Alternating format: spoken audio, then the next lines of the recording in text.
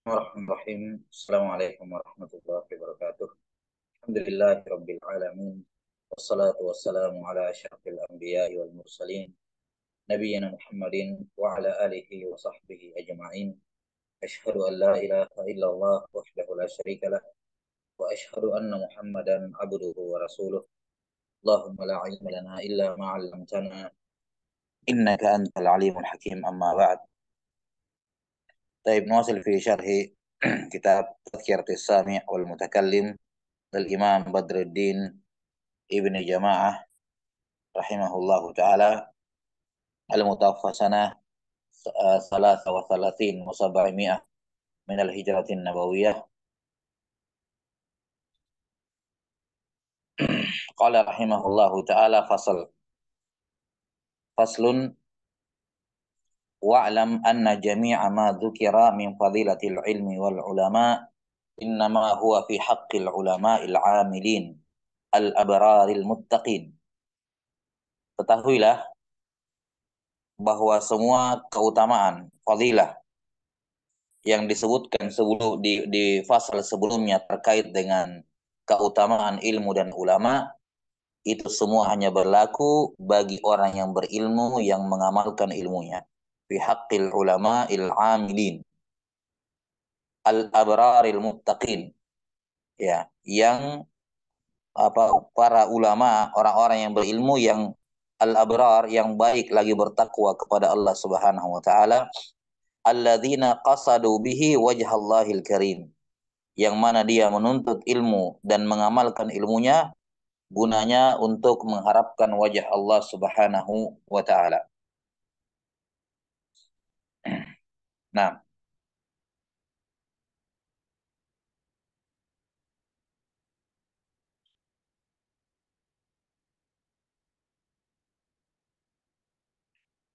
kata beliau rahimahullahu taala, la man talabahu bisu'i niyatin au khubthi tawiyatin au li agradin dunyawiyatin. Semua pahala yang tersebut sebelumnya tidak berlaku dan tidak diberikan kepada para penuntut ilmu, para alim ulama yang mana mereka menuntut ilmu dengan niat yang buruk, dengan niat yang jelek, dengan perilaku akhlak yang buruk, ya, atau untuk mendapatkan niat-niat tujuan-tujuan duniawi. Nah, maka di sini penulis rahimahullahu taala menyebutkan bahwa tujuan atau semua pahala yang disebutkan sebelumnya, semua keutamaan itu hanya bisa diraih dengan dua syarat. Semua pahala, semua kebaikan, semua keutamaan terkait dengan ilmu dan ulama itu hanya bisa diraih dengan dua syarat. Syarat yang pertama bahwa yang dituntut itu adalah ilmu Quran dan Sunnah. Ilmu yang dituntut adalah ilmu Quran dan Sunnah. Dan syarat yang kedua, orang yang menuntutnya memiliki niat dan maksud yang baik. Ya, niat dan maksud yang yang baik. Nah, dia mencarinya dengan cara yang baik. Adapun ilmu selain dari Quran dan Sunnah, dan tentu saja pelayan dari keduanya, karena selain dari Quran dan Sunnah ada ilmu-ilmu khadim, ada ilmu-ilmu yang menjadi pelayan dari Quran dan Sunnah seperti ilmu-ilmu usul, ulumul Arabiyah dan seterusnya. Ini apa uh, khadim semuanya pelayan dari ulumul Quran, ilmu Quran dan Sunnah. Adapun selain dari ilmu-ilmu itu, maka kalau dia bermanfaat bagi manusia, ada pahalanya, tapi bukan pahala spesifik yang tersebut sebelumnya. Bukan berarti orang belajar kedokteran, orang belajar teknik, orang belajar apa kuliah misalnya dengan ilmu-ilmu yang lain tidak ada pahalanya, tetap ada pahalanya, tapi bukan pahala spesifik seperti yang tersebut dalam hadis-hadis. Karena pahala spesifik terkait dengan hadis-hadis itu hanya berlaku untuk yang menuntut ilmu Quran dan sunnah atau yang menjadi pelayan dari keduanya. Kemudian syarat yang kedua tadi adalah dia menuntutnya dengan cara yang benar. Dia menuntut ilmu Quran dan Sunnah dengan cara yang benar. Bagaimana cara yang benar itu? Dengan niat yang baik, dengan akhlak adab ketika menuntutnya, ya akhlak adab perilaku yang baik ketika menuntut ilmu. Ini dua hal. Dia ikhlas dan dia beradab. Maka orang yang menuntut ilmu Quran dan Sunnah atau atau ala ilmu-ilmu alatnya atau pelayan dari Quran dan Sunnah, ya, tapi niatnya tidak bagus, maka dia tidak akan mendapatkan semua pahala tersebut. Atau niatnya bagus tapi adabnya yang minim, ya, maka dia juga akan tidak mendapatkan apa? Tidak mendapatkan keutamaan-keutamaan tersebut. Nah, Allah taala alam bisawab. Dan termasuk ya di antara niat-niat yang baik yang disebutkan di sini yakni al-amilin. Ya, yakni mengamalkan apa? Mengamalkan ilmu yang dia ketahui, berniat untuk mengamalkan ilmu yang dia pelajari sebagaimana akan diterangkan nanti bismillah eh, bentuk-bentuk niat yang ikhlas dalam menuntut ilmu. Nah, kata beliau pahala ini hanya diberikan kepada orang-orang ulama al-amilin yang mengamalkan ilmunya, orang-orang yang bertakwa kepada Allah, yang meniatkan menuntut ilmunya untuk meraya, mengharapkan wajah Allah yang mulia, wazulfa fi jannatin na'im dan untuk mendapatkan kedekatan dengan Allah di sorga-sorga yang penuh kenikmatan. La man talabahu bisu ini ya. Pahala ini tidak diraih oleh orang yang buruk niatnya, yang jelek niatnya au khubthi atau yang perilakunya jelek tidak beradab dalam menuntut ilmu au li agradin atau dia menuntut ilmu untuk niat-niat duniawi. Apakah minjah berupa kedudukan di tengah masyarakat? Ya. Au mal atau harta? Au mukatsara fil atba wa tulab atau untuk mendapatkan banyak pengikut dan banyak murid supaya banyak orang-orang yang mengikutinya. Ini semua niat-niat yang buruk atau sekedar untuk dapatkan ijazah saja ya yang mana bisa dipakai untuk bekerja dan seterusnya. Ini semua niat yang tidak benar. Faqad ruya an Nabi sallallahu alaihi wasallam annahu qala man talaba al-ilma liyumariya bihi as-sufaha'a aw yukathira bihi al-ulama'a aw yasrifa bihi wujuhan nasi ilaihi adkhalahu Allahu an-nar akhrajahu at-Tirmidzi Kata beliau rahimahullah, diriwayatkan dari Nabi Shallallahu Alaihi Wasallam, beliau bersabda dalam hadis riwayat Imam At-Tirmidzi dari Ka'ab bin Malik, siapa yang menuntut ilmu, barang siapa yang menuntut ilmu dengan niat liyumariya bihi sufaha, untuk berdebat dengan orang-orang yang bodoh. Iya. Di mana ditemukan orang-orang bodoh ya di sosial media hanya karena dia ingin membantah atau meluruskan sesuatu, dia menuntut ilmu untuk mendebat, mengomentari kebodohan. Nah, kumpulan artikel tanya kepada orang berilmu hukum ini, dia kumpulkan kartus baru dia rangkum jadi satu baru dia posting untuk membantah orang-orang yang tidak layak untuk dibantah. Nah, ini lima bihi sufa au yukatsir bihil ulama atau supaya dikatakan orang berilmu supaya dikatakan dia juga termasuk dalam kategori ulama. 6. Menuntut ilmu supaya dikatakan apa? Dikatakan alim. Supaya dihitung dalam jajaran orang-orang yang berilmu. Au yasrifa bihi wujuhan nasi ilaihi. Atau dia niat agar orang-orang memandang kepadanya, menokohkan dia, melihat kepadanya, supaya apa dia dimuliakan oleh orang ya ada khalahullahu nar. Maka siapa saya menuntut ilmu dengan niat seperti ini Allah akan masukkan dia ke dalam neraka. Dalam hadis yang lain wa anhu sallallahu alaihi wasallam man ta'allama ilman man ta'allama ilman li ghairillahi aw arada bihi ghaira wajhillah falyatabawwa maq'adahu minan nar. Rawahu tirmidzi juga dalam hadis yang lain Nabi SAW bersabda Siapa yang menuntut ilmu? Bukan karena Allah. Atau dia menginginkan selain wajah Allah, maka hendaknya dia persiapkan maq'adahu. Falyatabawwa maq'adahu. Dia persiapkan tempat duduknya di neraka. Waruya man ta'allama ilman mimma yubtagha bihi wajhullah la yata'allamuhu illa liyusiba bihi 'aradan minad dunya. Lam yajid arfal jannati yaumal qiyamah akhrajahu Abu Dawud. Juga diriwayatkan siapa yang menuntut ilmu yang mana ilmu ini seharusnya dituntut untuk mengharapkan wajah Allah yakni ilmu-ilmu syariat. Namun dia menuntutnya dengan niat agar mendapatkan arabam minat dunia. Untuk mendapatkan apa? Perhiasan dunia barang-barang duniawi. Harta uang nah. Atau apa-apa yang dari dari fitnah-fitnah dunia siapa yang menuntut ilmu-ilmu agama? Dengan niat dunia dengan niat untuk mendapatkan dunia lam yajid arfal jannah. Dia tidak akan mencium baunya sorga yaumal kiamah pada hari kiamat. Baik. Maka hadis-hadis ini jelas menunjukkan ikhlas menuntut ilmu. Ikhlas untuk Allah taala, niat untuk Allah taala itu adalah satu-satunya pilihan bagi para penuntut ilmu. Kalau ada penuntut ilmu tidak bisa ikhlas, mending berhenti menuntut ilmu, jangan menuntut ilmu. Jangan jangan coba-coba menuntut ilmu kalau tidak ikhlas. Ya. Kalau belum balik, belum balik nggak apa-apa, belum berdosa. Dipaksa belajar. Walaupun dia terpaksa nggak apa-apa. Namanya juga belum balik dibiasakan.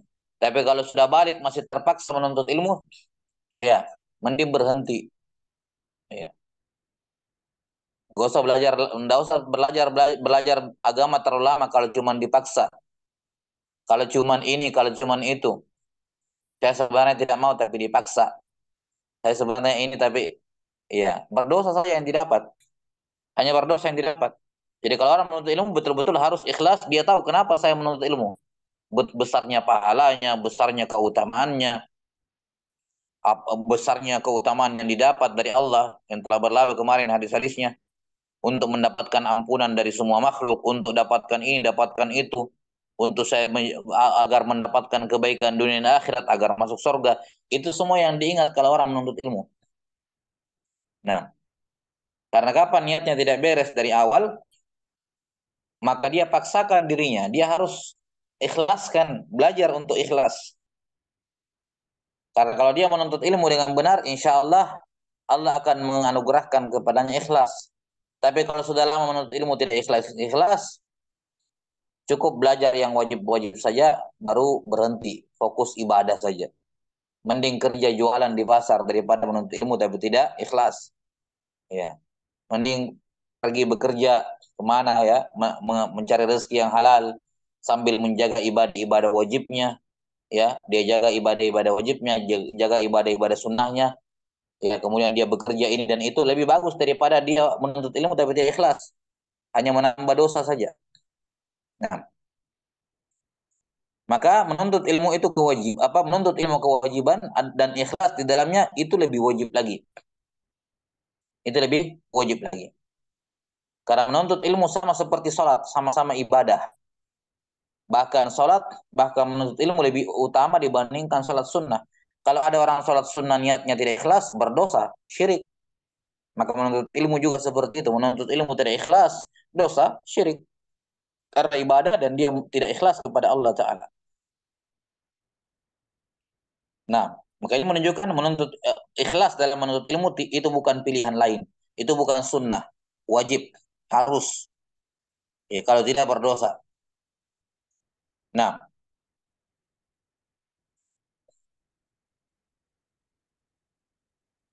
Kemudian dipertegas dengan hadis berikutnya. Wa an Abi Hurairah radhiyallahu anhu anin Nabi sallallahu alaihi wasallam annahu qala inna awwalan nasi yuqda alaihi yaumil qiyamah wa salata. Sesungguhnya manusia yang pertama kali dihisap, diputuskan nasibnya pada hari kiamat ada tiga orang. Sebelum para penyembah berhala, ya, sebelum para penyembah berhala, sebelum yang lain-lain, orang manusia yang pertama kali dihisap dan ditentukan nasibnya di hari kiamat surga atau neraka disebutkan tiga jenis manusia. Wadzakara salasa. Orang yang pertama ya nggak disebutkan di sini ya, beliau langsung menyebutkan sisi pendalilnya. Orang yang pertama adalah orang yang berjihad sampai meninggal tapi dengan niat supaya dibilang pemberani, dibilang pahlawan. Orang kedua, orang yang menghafal Quran, sholat di malam hari dengan hafalan Qurannya, dengan niat supaya dikatakan qori, ahli ibadah. Ini semua niatnya bermasalah. Nah orang yang ketiga yang ini, sebutkan. Warajulun ta'allamal ilma 'allamah wa al Qur'an. Fa'utiya bi. Ya, dikatakan orang yang ketiga adalah seorang rajul, seseorang yang mempelajari ilmu, belajar ilmu agama, kemudian mengajarkan ilmu tersebut. Dan dia juga qara al-Quran. Makna qara di sini adalah hafizah. Menghafal Quran. Ya. Makna qara adalah hafizah. Menghafal Al-Quran. Fa'utiya bihi. Maka dibawa dia di hadapan Allah Ta'ala. Fa'arrafahu ni'amahu fa'arrafaha. Maka Allah menyebutkan nikmat-nikmatnya kepadanya untuk mengingatkan dia. Fa'arrafaha. Maka dia pun ingat. Dia ngakui. Bukankah saya dulu bikin kamu menghafal Quran? Iya ya Allah. Saya dulu kasih berikan kepada kamu kekuatan hafal untuk menghafal? Iya. Kui. Saya buat kamu dulu cerdas supaya gampang paham belajar agama? Iya ya kamu juga mengajari orang? Ya disuruh mengakui nikmat-nikmat Allah maka dia pun mengakui semuanya. Qala fama amil tafiha lantas apa yang kamu amalkan dari semua ilmu itu? Atau ya apa yang kamu lakukan dengan semua ilmu yang aku berikan kepadamu ya dengan semua hafalan Quran tersebut apa yang kamu lakukan dengan itu? Qala ta'allamtu fikal ilma wa 'allamtuhu wa qara'tu fikal qur'ana Ya Allah, saya menuntut ilmu itu, saya menuntut ilmu, alam tuhu, aku juga mengajarkan ilmu kepada orang, qara'tul Quran, ya, saya menghafal Quran, itu semua fika karena engkau ya Allah ikhlas untuk untukmu fika untukmu ya Allah. Maka Allah berfirman qala kadzabta kamu bohong. Dalam riwayat lain wa taqulul malaikatu kadzabta Para malaikat juga yang hadir di situ mengatakan kamu bohong. Kenapa? Lakin ta'al lakin ta'allamta liyuqala alim wa qara'ta liyuqala qari. Faqad qil. Kamu bohong kalau kamu mengaku ikhlas, ya. Kamu mengatakan belajar mengajar ikhlas, menghafal Quran ikhlas, enggak, kamu bohong kamu itu belajar ilmu agama dan mengajarkan supaya dibilang oleh orang alim. Ya, ahli orang ahli ilmu, ustadz, kiai, supaya dibilang ya pengajar dan seterusnya. Dan kamu juga menghafal Quran supaya dikatakan qari. Nah, ini orang yang ketiga. Orang kedua tadi ini ya orang dermawan ya, Hafan. Orang pertama mujahid yang meninggal di medan perang. Yang kedua orang yang dermawan so, uh, dia dermawan dengan niat supaya dikatakan jawat orang yang dermawan suka menyumbang gitu ya. Nah ini orang ketiga jadi kamu dikata kamu belajar mengajar supaya dikatakan alim kamu menghafal supaya dikatakan qari faqad dan kamu sudah dapatkan titel itu di dunia. Kamu sudah dipuji oleh orang sudah dip, sudah dipanggil orang berilmu dipanggil dipanggil ustadz dipanggil syekh dipanggil ini alim kamu sudah dapatkan niatmu itu di dunia. Orang sudah bilang kamu qari, kamu hafiz. Kamu sudah dapatkan gelar itu. Fakadakila. Kamu sudah temu, dapatkan. Sudah tidak ada pahlamu. Da, sudah tidak ada, tidak ada pahalanya karena kamu sudah dapatkan di dunia. Summa umira bihi fasuhiba ala wajhihi.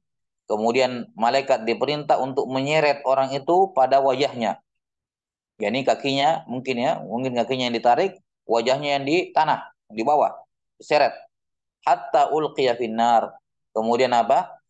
Dia dimasukkan ke dalam neraka. Ya. Akhrajahu Muslim wan Nasa'i. Riwayat Imam Muslim dan Imam Nasai.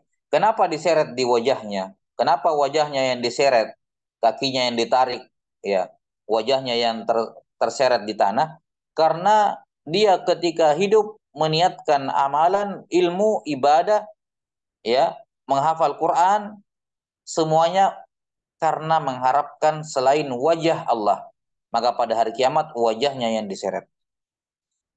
Ya, dibalas dengan kebalikan niatnya. Ketika dia mengharapkan selain wajah Allah di dunia, maka di hari kiamat wajahnya yang diseret. Wa an Hammad bin Salamah rahimahullah, salah seorang imam, Hammad bin Salamah. Man talabal haditha li ghairi Allah ta'ala mukira bihi. Iya. Barang siapa yang menuntut hadis. Yang dimaksud menuntut hadis adalah menuntut ilmu. Karena di zaman dahulu itu orang belajar agama, belajar hadis saja. Al-Quran hadis gitu. Cuman yang dituntut biasanya hadis, yang orang keliling mencari-cari.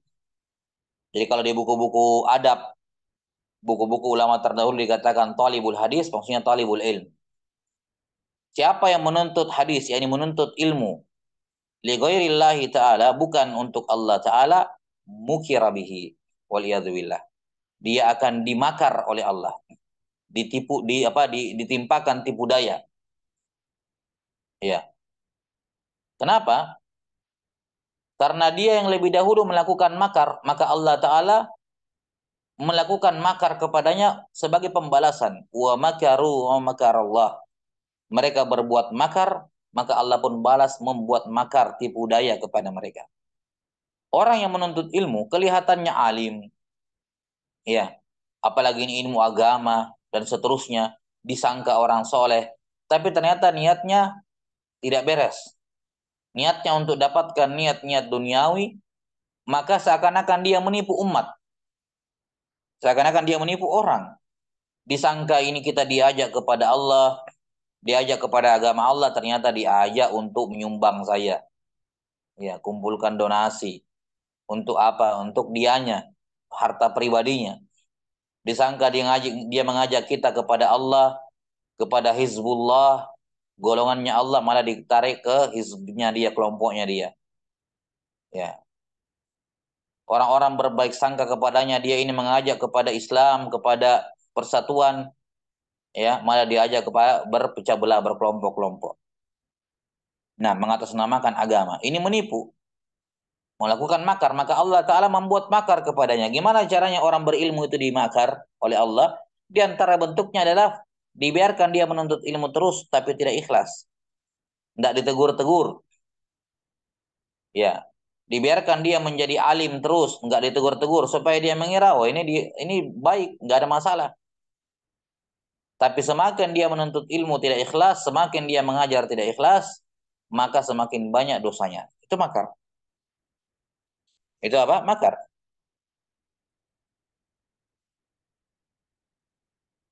Jelas ya? Semakin lama dia belajar, semakin banyak dosanya. Karena itulah Syekh Saleh Al Utsaimin hafizahullah taala ya menyebutkan masa apa uh, menyebutkan ya memberikan saran bagi orang-orang yang tidak bisa ikhlas berhenti, jangan lanjut belajar. Mending pelajari saja yang fardu ain, cara wudhu, cara sholat itu saja yang dikerjakan tiap hari, ya. Yang yang ibadah yang dikerjakan tiap hari itu aja yang dipelajari, belajar tauhid, setelah itu selesai. Mau pergi berdagang silakan, mau pergi kerja apa silakan. Yang penting yang wajib dijaga jangan bikin dosa, ah, itu lebih bagus daripada kamu ilmu tapi tidak ikhlas. Tidak memiliki apa namanya, tidak memperbaiki dirinya dengan ilmu. Wa an Bishr rahimahullah. Bishr di sini Bishr Ibnul Haris Al-Marwazi. Kata Bishr Ibnul Haris Al-Marwazi rahimahullah, auhallahu ta'ala ila Dawud la taj'al بيني wa عالما aliman maftunan fayasuddaka bisukrihi am mahabbati. Ulaika quta'u tariqi ala ibadi. Ini menjelaskan makna makar. Bagaimana orang berilmu itu orang yang menuntut ilmu membuat makar maka Allah pun membalas dia dengan makar. Kata Bishir ini menyebutkan Israeliat kelihatannya. 6 Dikatakan Allah Ta'ala memberikan wahyu kepada Dawud. Apa wahyunya kepada Nabi Dawud? Kata Allah, jangan kamu jadikan antara saya dengan kamu orang berilmu yang terfitnah. Aliman maftunan. Ya. Yang dimaksud fitnah di sini adalah fitnah syubhat ataupun syahwat. Orang berilmu punya sisi apa tapi dia syubhat afan. Ahli ilmu dia punya ilmu tapi dia apa? Masih punya kerancuan dalam cara berpikir, cara beragama. Atau dia orang berilmu tapi dia masih punya syahwat. Masih ada niat-niat duniawi yang mau dikejar. Mengumpulkan harta dan seterusnya. Jangan jadikan antara kamu dengan aku Kata Allah kepada Nabi Daud, ada orang yang pintar, ya, banyak hafalannya, tapi dia terfitnah. Fayasuddaka bisukrihi amma. Karena orang itu bisa menghalangi kamu ya dari mendapatkan kecintaanku disebabkan sukrihi karena mabuknya dia, mabuk dengan syubhat, mabuk dengan syahwat. Ya. Mabuk harta, mabuk apa namanya maksiat, mabuk syubhat, sukri. Nah, karena mereka akan menghalangi kamu dari kecintaanku kata Allah. Ulaika kutta'u tariqi ala ibadi. Mereka inilah orang-orang yang menculik hambaku di tengah jalan. Kutta'u tariq itu ya penyamun ya. Yang apa merampok orang di tengah jalan mengambil hartanya, kadang membunuh ya. Nah, ini hamba-hambaku berjalan menuju kepada aku kata Allah disebut di sini ya. Hamba-hamba Allah yang berjalan kepada Allah diculik satu persatu. Dikeluarkan dari jalan tersebut oleh siapa? Oleh ulama-ulama buruk ini. Ya. Niatnya bagus, ikhlas lillahi taala kasihan ya, berharta tapi malah disuruh menyumbang, disuruh disuruh sedekah dengan niat ini, dengan niat itu, dikira untuk Allah padahal apa? Untuk kekayaan pribadinya si guru, si ustadz. Nah, atau dikira ini apa mengajarkan sunnah tapi ternyata mengajarkan bid'ah. Dikira mengajarkan tauhid ternyata itu syirik. Dikira apa namanya berada di atas jalan yang benar. Ya, bersatu di atas kebenaran ternyata berkelompok-kelompok hizb, membentuk kelompok-kelompok hizbiyah. Ya. Inilah orang-orang yang menjauhkan atau menculik ya orang dari jalan Allah Subhanahu wa taala. Maka ini fasal penting sebagai pengantar. Sebagai pengantar bahwa seorang penuntut ilmu harus betul-betul muraqabah niatnya dan akan diterangkan lagi lebih lanjut terkait dengan keikhlasan. Tapi ini merupakan syarat mutlak bagi siapa yang mau berjalan di jalan menuntut ilmu. Oke lah awalnya terpaksa, oke lah awalnya apa ya dengan niat tertentu. Tapi kalau dia belajar dengan benar, berdoa kepada Allah agar dianugerahkan ikhlas dalam menuntut ilmu, dianugerahkan akhlak perilaku yang baik dalam menuntut ilmu, Allah Ta'ala akan mengabulkan doa. Dan banyak yang seperti itu. Seperti yang disebutkan oleh sebagian ulama salaf. Kalau nggak salah ada ya, rahimahullahu ta'ala. Beliau mengatakan, talabun al-ilma li ghairillah fayaqbal ilmu illa ayyakuna lillah. Dulu kami menuntut ilmu itu bukan karena Allah dulu. Tapi setelah kami belajar, semakin banyak ilmu yang kami tahu, ilmu ini mengajarkan kami untuk ikhlas. Yani ilmu tidak mau dituntut, ilmu tidak mau dituntut kecuali apa? Kecuali ikhlas. Ya, ilmu tidak mau dituntut kecuali apa? Kecuali ikhlas. Nah, maka ini perkara yang penting untuk diperhatikan. Ya, sebelum melangkah lebih jauh dalam pembahasan terkait dengan adab. Karena adab yang baik juga tidak ada gunanya kalau tidak ikhlas. Sebagaimana ikhlas tapi tidak adab, tidak beradab kepada dirinya, kepada Allah sebelumnya, kepada dirinya, kepada gurunya, kepada teman-temannya. Ya, ini hanya membuang-buang waktu untuk menuntut ilmu. Ya, Allah taala alam bisawab. Baik, saya kira cukup sampai sini selesai terkait dengan fasal ini. Insyaallah taala nanti masuk di uh, apa di bab asani, bab yang kedua fi adabil alim fi nafsihi wa mura'ati talibihi wa darsi terkait dengan adab menjadi seorang guru. Iya, menjadi seorang guru. Yaitu bab uh, tentang adab-adab seorang alim pada dirinya ya dan bagaimana dia menjaga ya mendidik murid-muridnya dan menjaga pelajaran yang dia ampu. Nah, nattabi al qadar wal ilmu indallah. Nasallallahu taala yu'allimana mimma yanfa'una wa yanfa'ana bima 'allamana innahu waliyyu dzalika wal qadiru 'alaih. Subhanakallahumma bihamdik asyhadu an la ilaha illa anta astaghfiruka wa atubu ilaik. Alhamdulillahirabbil alamin. السلام عليكم ورحمة الله.